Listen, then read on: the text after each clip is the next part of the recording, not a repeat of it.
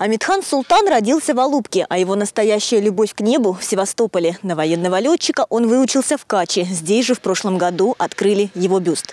603 боевых вылета во время Великой Отечественной, полсотни сбитых вражеских самолетов и целая жизнь, как одно большое небо.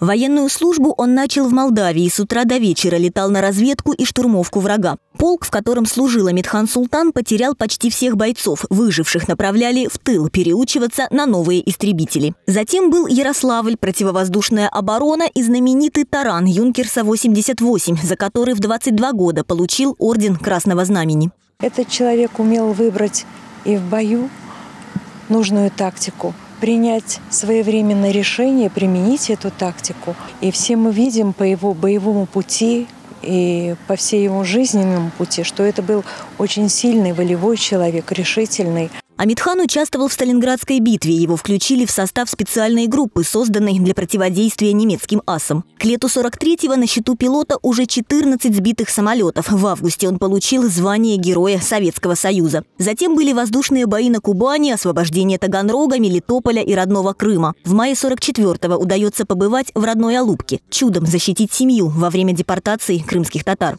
Пришлось э, звонить э, Хрюкину и говорить, что происходит здесь.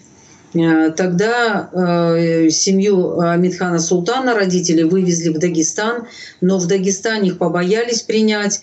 И тогда он опять обратился к Хрюкину, и Хрюкин отправил э, его родителей в родительский дом в Краснодарском крае.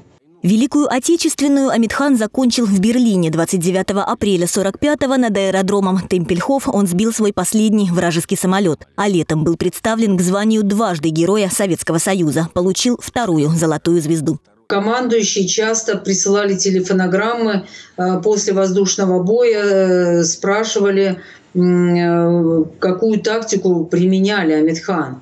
Амитхан отшучивался всегда, говорил, как видел, так и применял.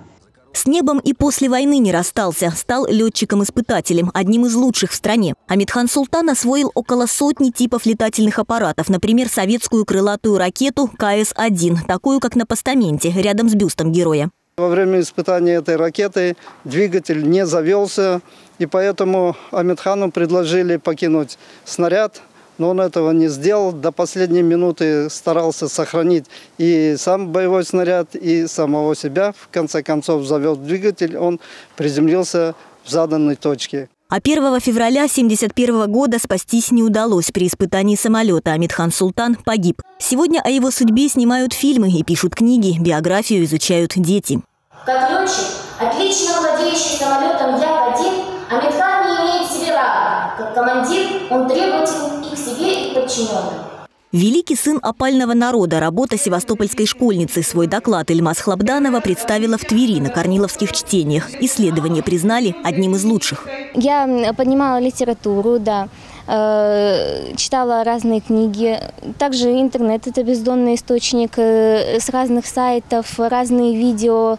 Э, очень был интересный процесс поиска информации. Я для себя много нового узнала. Ее этот человек очень интересовал. И, как выяснилось, в семье много знали о нем, рассказывали.